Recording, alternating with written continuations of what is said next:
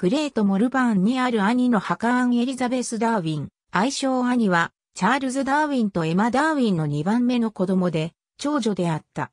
電気作家たちによると、アンは親に大きな喜びをもたらした愛嬌のある子であった。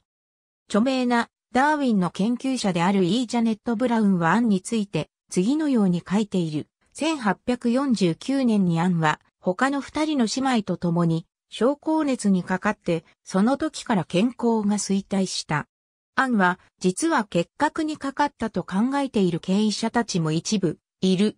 ガリーの水治療法に儚い望みを抱いて、チャールズ・ダーウィンはアンを、ウスターシャー州にある温泉街のグレート・モルバーンへ連れて行った。アンは、ウースターロードにあるモントリオールハウスで10歳で死に、グレート・モルバーン・プライリー教会の墓地に葬られた。アンの死は親にとって残酷な衝撃だった。チャールズ・ダーウィンは自身の回顧録に我々は家庭の喜びと老年の慰安を失ってしまった。ああ我々がどんなに深く、どんなに優しくアンの愛しき笑顔をまだ愛していて永遠に愛し続けるはずなのか、アンに今わかりますように。と書いた。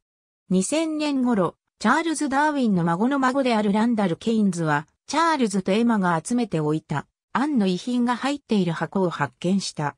ランダルは、チャールズ・ダーウィンとアンの関係を中心に、ダーウィンと家族の絆と名付けられたチャールズ・ダーウィンの伝記を書いた。2009年の映画、クリエーションの脚本はこの本に基づいている。